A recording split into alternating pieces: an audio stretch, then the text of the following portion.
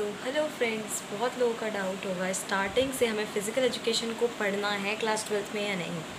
तो physical education एक ऐसा सब्जेक्ट है जो बहुत स्कोरिंग है। फिज़िक्स केमिस्ट्री बायोलॉजी आपको एक बार बचाए ना बचाए, लेकिन फ़िज़िकल एजुकेशन 95 प्लस करना इजी होता है। आप आसानी से कर सकते हैं, थोड़ी सी मेहनत लगेगी।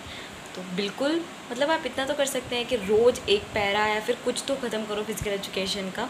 जैसे कि आप एंड में स्ट्रेस में ना हो यूनिट टेस्ट वगैरह में पढ़ते रहो अच्छे से, जो स्कूल में पढ़ा रहे हैं अच्छे से पढ़ते रहो, क्योंकि उसका कोई कोचिंग या ट्यूशन ही नहीं होता है। तो स्कूल्स में ही अच्छे से कवर करिए उसे और फ़िज़िकल एजुकेशन पर भी ध्यान दीजिए, वो आपकी परसेंटेज को इंक्रीज़ करेगा। बाय